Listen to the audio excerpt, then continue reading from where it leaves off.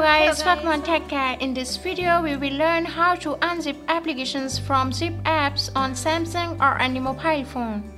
So without wasting the time, let's start the topic. Firstly, you have to search for zip apps folder.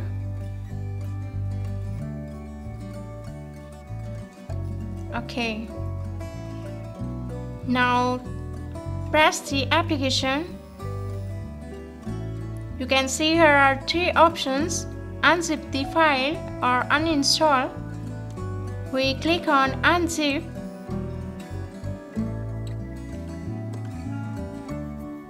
Unzip.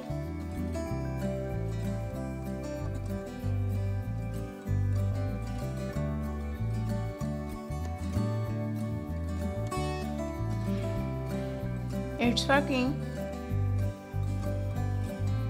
you have to wait for some time.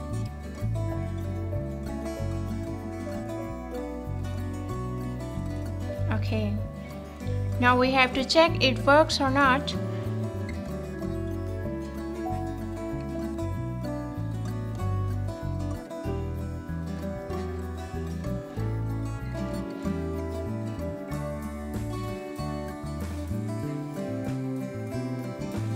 You can see here is my app